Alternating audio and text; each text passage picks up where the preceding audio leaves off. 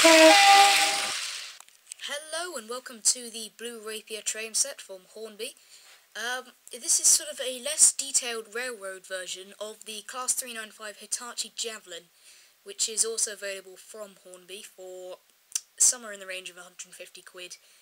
Uh, in the Hitachi Javelin you get a power car, dummy car and two uh, standard open coaches. And it's pretty much the same in here apart from the fact that you only get one coach.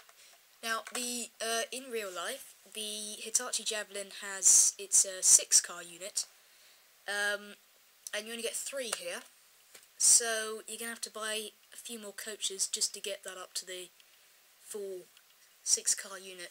So, um, as I said, this is a less detailed version of the Hitachi Javelin, but it's still not a bad model. You see, we've got window wipers on the front there. This light here and this light here light up blue LEDs, and this one does not. It should do, but it doesn't. When I say it should do, it's not broken, it just, you know, on the proper model it should light up. Um, we've got pretty basic detail along the side here, actually. Not much. We've got, you know, the number 395021. Got some handrails there. They're sort of, you know, you can feel the detail on there. Uh, detailing on the doors isn't great. We've got, you know, a couple of buttons there, but they're not coloured. I mean, you can paint them. A bit of yellow on there will do. Um, a bit of yellow down there actually is needed on these little things on the undercarriage. Uh, we've got a nice southeastern high speed on the livery there. Uh, the windows are blacked out. You can just see through them and there's no seats in there.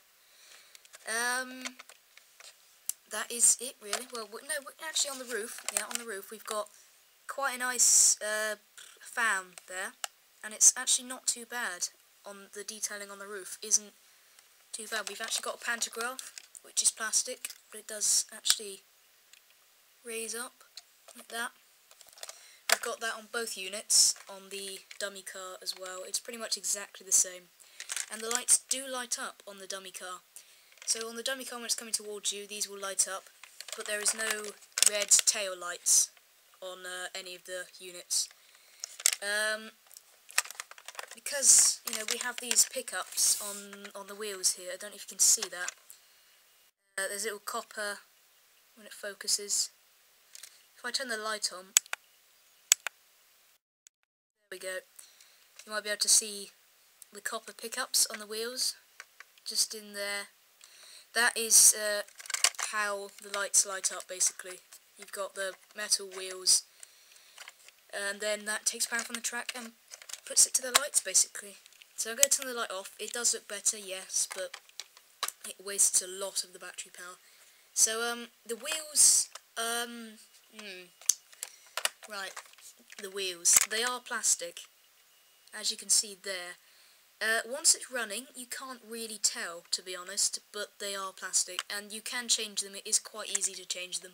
I have already done it, but I, you know, replaced them to pl the plastic ones for the process of this video. But, um, yeah, on the power car, they, they are sort of metal with a plastic rim on the inside when it, if it focuses. Don't know if it will. But you've got metal on the bottom so it can pick up electricity from the track. And then you've got, there we go, then we've got plastic on the inside. And that's the same on the front as well. So that that's a bit strange, but I suppose, you know, it cuts down a lot of the cost. Um, onto the coach then. We have got quite nice detailing on the roof, once again. Fans, fans. Um, it's pretty much the same. We've got plastic wheels again, you know. Uh, we have got strange couplings actually. It's a hook and eye, so there's a eye there and a hook there. And this works by, it's quite simple really. Sort of, that goes in there. And it's nice and strong, nice and tight, but not that realistic. But it's not too bad. It's, it's, a it's quite a nice coupling mechanism actually. It's quite easy to do. You know, you don't have to line up that much, but uh, so, you know, back to the coach. The windows, once again, are blacked out to match the units, the uh, power units. Um, now, as I said, this is a six-car unit, so I went and bought another coach, like this. It's a railroad model, and it's a Blue Rapier standard coach, Hitachi 395, R4438. Um, this was about £15 actually, and it is exactly the same as the one that you get in the set. Apart from the fact it's harder to get out in the box. There we go. Now, I must mention before I move on, actually, the um, the three cars that you get, you also get some track, an oval track, a quite decent amount, and the new uh, controller, not the Elite or the other one, uh, the Select. It's an analog controller. Uh, even though it says DCC ready on the Hornby website, it's not DCC ready.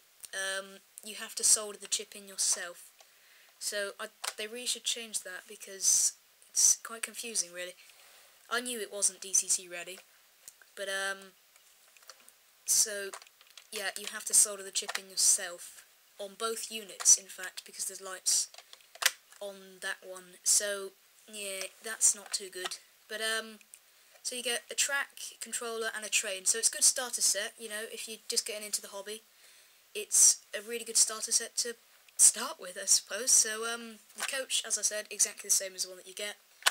So now it's four cars instead of three. Um, that's about it, really. Anything else that I haven't covered? No, that's about it. So let's put on the track and see what she runs like. So just so you can see what she's like uh, as you would get it out the box, I'm just going to put the three cars on first and then I'll put the uh, full, well not full, but I'll put the other coach on because it looks a lot better with four.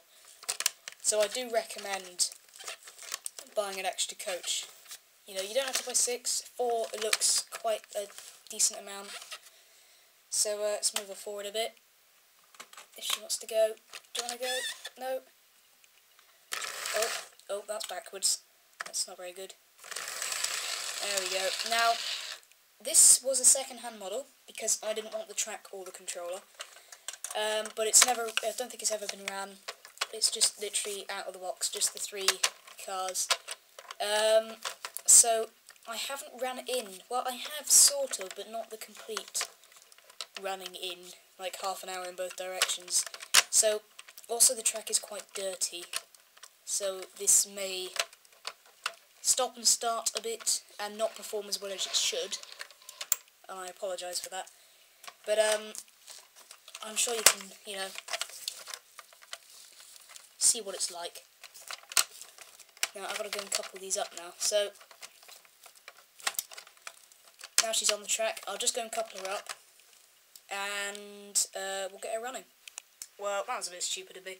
I put the coach the wrong way round because there's two eyes there and they won't couple, will they? So I'm going to have to turn her around. Is quite hard with one camera in your hand, but there's one, and he's got to lift it up. You can't see that at all. There we go. He's got to lift them up and basically slot it in. Put this one in. There we go. Now the plastic wheels means, you know, she doesn't make... It's out of focus. It's waiting. Anyway, she doesn't make, you know, that great sound. She doesn't make the clackety-clack of most trains. But, um, it's quite a smooth run, actually. If you just look, she rolls quite well.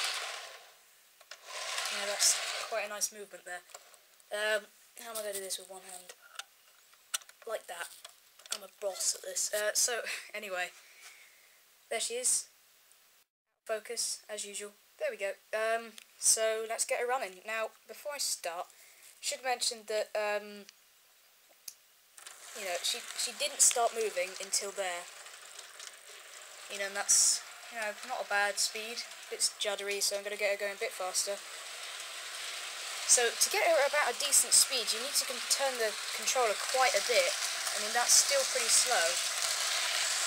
You need to I mean, there's quite a good speed, and that's quite, you know, far on the controller. As you can see, it's, you know, 2 o'clock or something, so it's not a great motor, I have to say, but it also makes a bit of a rumbling noise, but that's probably because she hasn't been ran in at all. So, uh, we, I think we can accept that. Let's just move that. Um, so let's get some good shots of her then.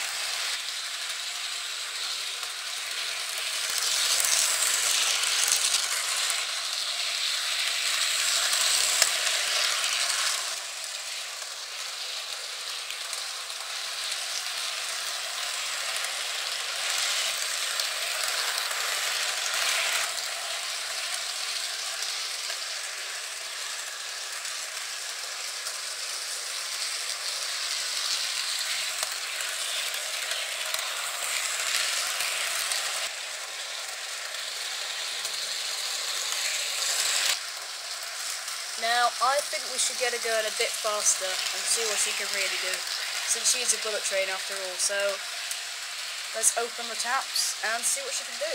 Now, bearing in mind she has got only one coach, so uh, let's just have a look. Now, the motor starts to make a bit more of a you know, louder rumbling noise when you make it go faster. You can really hear that motor working away.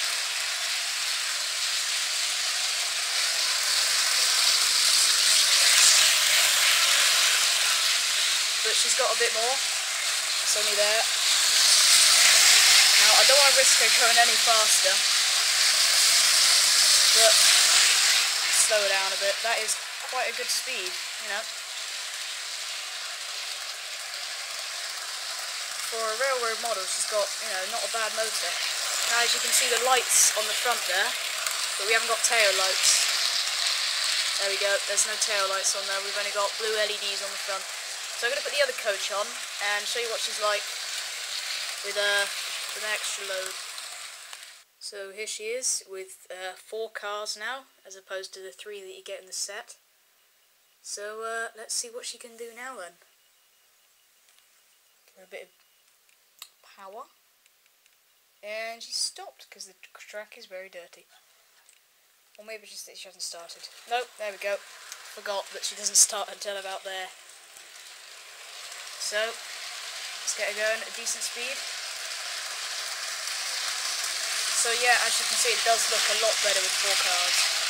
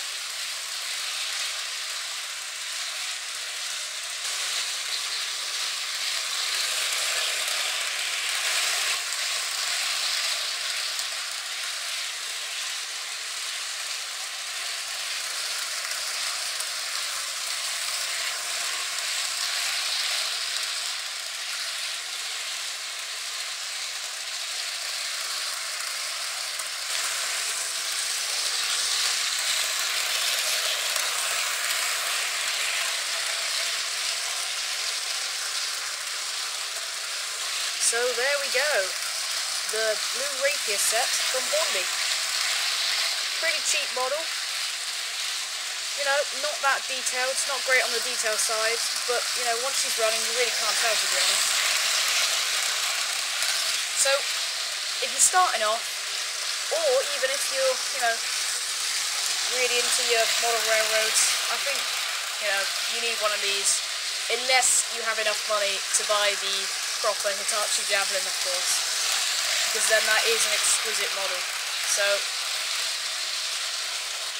there we go, the Blue Rapier set from Hornby.